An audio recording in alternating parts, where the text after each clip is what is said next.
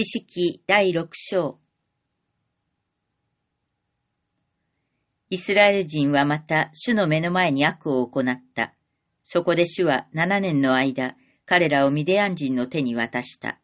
こうしてミディアン人の勢力はイスラエルを抑えたので、イスラエル人はミディアン人を避けて山々にある洞窟やほら穴や要害を自分たちのものにした。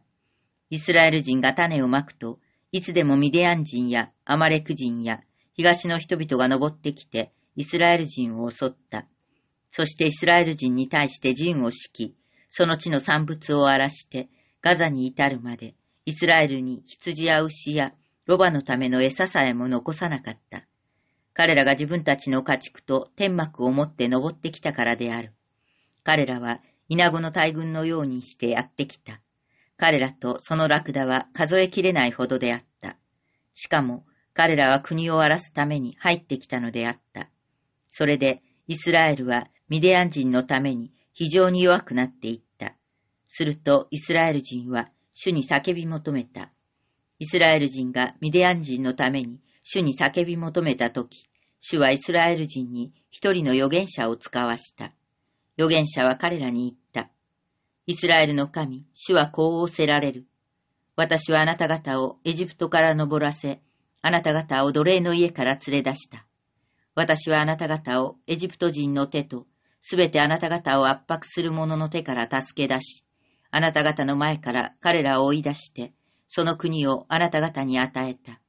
それで私はあなた方に言った。私はあなた方の神、主である。あなた方が住んでいる国のエモリ人の神々を恐れてはならない。ところが、あなた方は私の声に聞き従わなかった。さて、主の使いが来て、アビエゼル人ヨアッシュに属するオフラにあるカシの木の下に座った。この時、ヨアシスの子ギデオンはミディアン人から逃れて酒舟の中で小麦を打っていた。主の使いが彼に現れていった。勇士よ、主があなたと一緒におられる。ギデオンはその見つかいに言った。ああ、主よ、もし主が私たちと一緒におられるなら、なぜこれらのことが皆、私たちに起こったのでしょうか。私たちの先祖たちが、主は私たちをエジプトから登らせたのではないかと言って、私たちに話したあの驚くべき見業は皆どこにありますか今、主は私たちを捨ててミディアン人の手に渡されました。すると主は彼に向かって仰せられた。あなたのその力で生き、イスラエルをミディアン人の手から救え、私があなたを使わすのではないか。ギデオンは言った。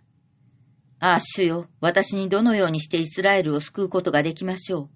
ご存知のように、私の分断はマナセのうちで最も弱く、私は父の家で一番若いのです。主はギデオンに仰せられた。私はあなたと一緒にいる。だからあなたは一人を撃ち殺すようにミディアン人を撃ち殺そう。するとギデオンは言った。お願いです。私と話しておられるのがあなたであるという印を私に見せてください。どうか私が贈り物を持ってきて、あなたのところに戻り、見舞いにそれを備えるまで、ここを離れないでください。それで主は、あなたが戻ってくるまで待とう、と仰せられた。ギデオンは家に入り、一匹のヤギの子を料理し、一エパの粉で種を入れないパンを作り、その肉をかごに入れ、また吸い物を鍋に入れ、菓子の木の下にいる方のところに持ってきて備えた。すると神の使いはギデオンに言った。肉と種を入れないパンを取って、この岩の上に置き、その吸い物を注げ。それで彼はそのようにした。すると主の使いは、その手にしていた杖の先を伸ばして、肉と種を入れないパンに触れた。するとたちまち火が岩から燃え上がって、肉と種を入れないパンを焼き尽くしてしまった。主の使いは去って見えなくなった。これでこの方が主の使いであったことが分かった。それでギデオンは言った。ああ、神主よ、私は面と向かって主の使いを見てしまいました。すると主はギデオンに仰せられた。安心しなさい。恐れるな。あなたは死なない。そこで、ギデオンはそこに主のために祭壇を築いて、これをアドナイ・シャロムと名付けた。これは今日までアビエゼル人のオフラに残っている。その夜、主はギデオンに仰せられた。あなたの父のお牛、七歳の第二のお牛を取り、あなたの父が持っているバールの祭壇を取り壊し、そのそばのアシェラ像を切り倒せ。その砦の頂上に、あなたの神、主のために石を積んで祭壇を築け、あの第二のお牛を取り、切り倒したアシェラ像の木で、全焼の生贄を捧げよ。そこでギデオンは自分のしもべの中から十人を引き連れて、主が言われた通りにした。彼は父の家の者や町の人々を恐れたので、昼間それをせず、夜それを行った。町の人々が翌朝早く起きてみると、バールの祭壇は取り壊され、そのそばにあったアシェラ像は切り倒され、新しく築かれた祭壇の上には、第二のお牛が捧げられていた。そこで彼らは互いに言った。誰がこういうことをしたのだろう。それから彼らは調べて、尋ね回り、ヨアシの子ギレオンがこれをしたのだ、と言った。ついで町の人々はヨアシに言った。あなたの息子を引っ張り出して殺しなさい。あれはバールの祭壇を取り壊し、そばにあったアシェラ像も切り倒したのだ。するとヨアシュは自分に向かって立っているすべての者に言った。あなた方はバールのために争っているのか、それとも彼を救おうとするのか。バールのために争う者は朝までに殺されてしまう。もしバールが神であるなら、自分の祭壇が取り壊されたのだから、自分で争えばよいのだ。こうしてその日、ギデオンはエルバールと呼ばれた。自分の祭壇が取り壊されたのだから、バールは自分で争えばよいという意味である。ミディアン人やアマレク人や東の人々が皆連合して、ヨルダン川を渡り、イズレールの谷に陣を敷いた。主の霊がギデオンを覆ったので、彼が角笛を吹き鳴らすと、アビエゼル人が集まってきて彼に従った。ギデオンはマナセの全域に死者を使わした。それで彼らもまた呼び集められ、彼に従った。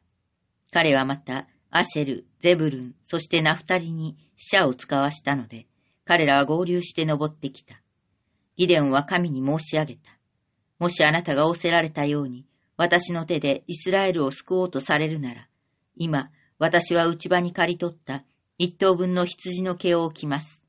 もしその羊の毛の上にだけ、露が降りていて、土全体が乾いていたら、あなたがお言葉の通りに私の手でイスラエルを救われることが私にわかります。するとそのようになった。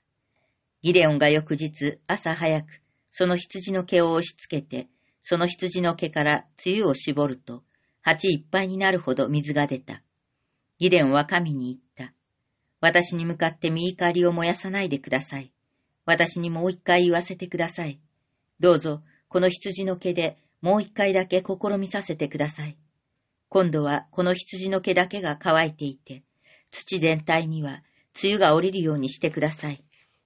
それで、神はその夜、そのようにされた。すなわち、その羊の毛の上だけが乾いていて、土全体には梅雨が降りていた。